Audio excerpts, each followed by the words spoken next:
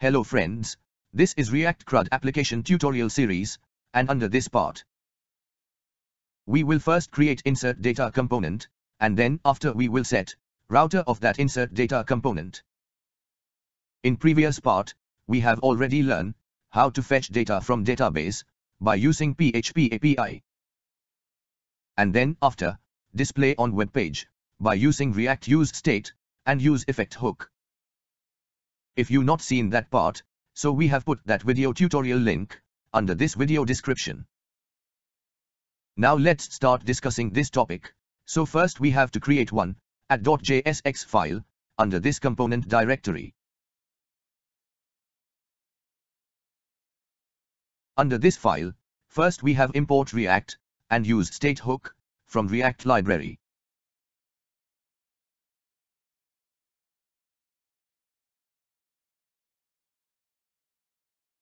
After this, we have import link component from React Router DOM library. Here the link component is a key part of React Router library, which is used for handling routing and navigation. After this, under this file, we have create add function, so it will defines a React functional component with name add. Under this function, we have to define user and set user variable is equal to use state hook so here, we have using use state hook from React library, and here. User is a state variable, which will hold the user data, and here. We have initialize object, with three properties like first name, last name and email.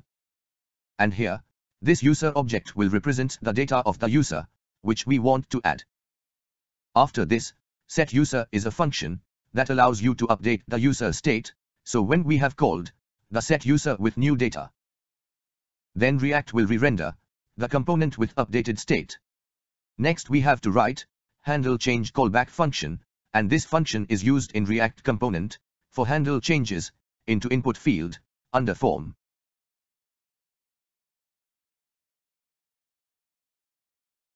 Under this function, we have to write name and value variable is equal to event.target. This code will destructing to extract two properties from event.target object. Here name property of the input field, which is often used to identify the specific field being changed. And value property of the input field, which contains the new value entered by the user.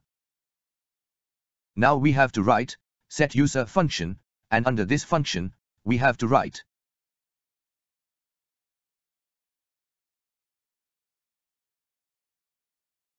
spread operator, with user variable, so this code will copy all existing properties from current user object.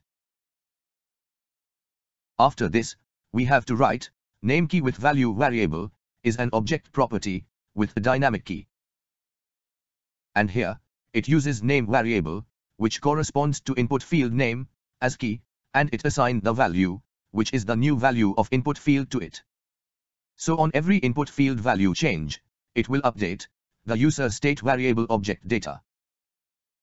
Now below this, we have to write return statement, so it will defines the structure and content of the component's user interface.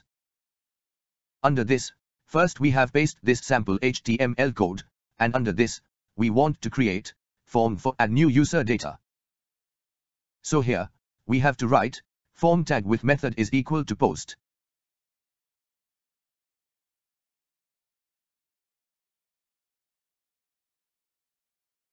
Under this form, first we want to create input field, for get first name data.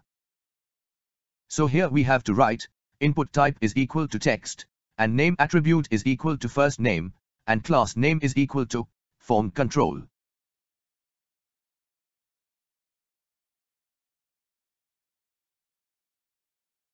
And here, we have to write, on change attribute is equal to handle change function. So when we have type, something under this text box, then it will update this text box value, under user object first name key value. After this, we want to create another, input field for get, last name data.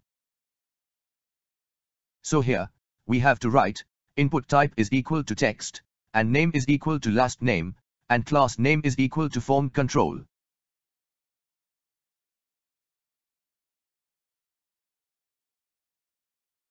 And here, we have to write, on change attribute is equal to, handle change function. So when we have type under this text box, then it will update this text box value, under user object last name key value. Next we want to create another input field, for get user email data, so here we have to write. Input type is equal to email, with name attribute is equal to name, and class name attribute is equal to form control. And here, we have to write, on change attribute is equal to handle change function. So when we have type under this text box, then it will update this email text box value under user object email key value. And lastly, for submit form data, so here we have to write input type is equal to submit.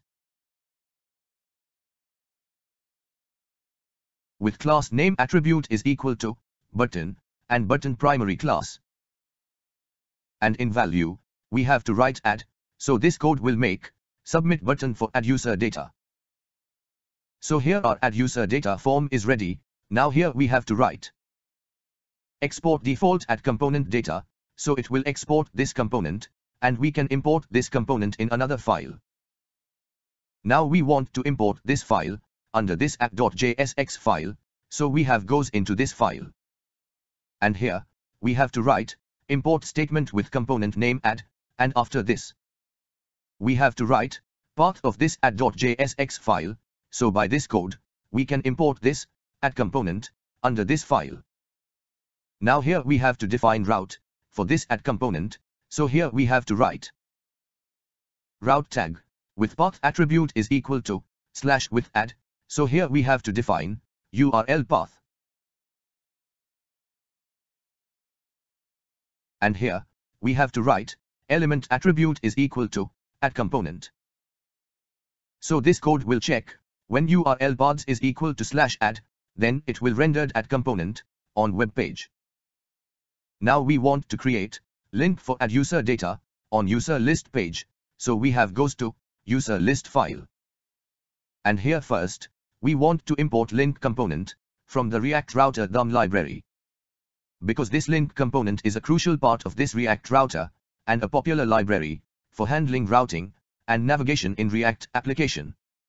After this, here we have to write, link component tag, with to attribute is equal to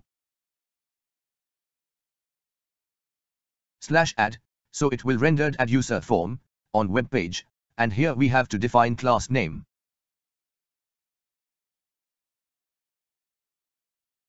And in link text, we have to write add, so it will create add user link, on web page. And when, we have click on this link, then it will render add user form on web page, without refresh of web page. Same way, we want to add user list link on add user page, so here in import code, we have write link. So here, on this file also, we have to import link component also, so now we have want to link this page to user list page. So here, we have to write link field with to attribute is equal to slash, and after this, we have to write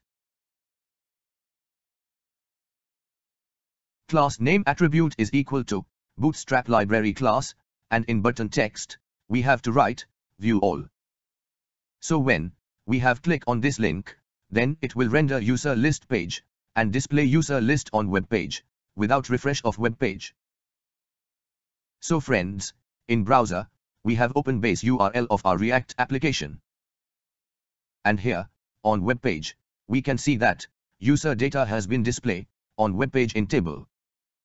And above this, we can see that add user link has been created, and now we have click on this link. And after click on this link, we can see that add user form has been load, without refresh, or reload of web page. Because when we have click on add link, then React has rendered add user form, and display on the web page. Same way, here we can see that, view all link has been seen here, so we have click on this link.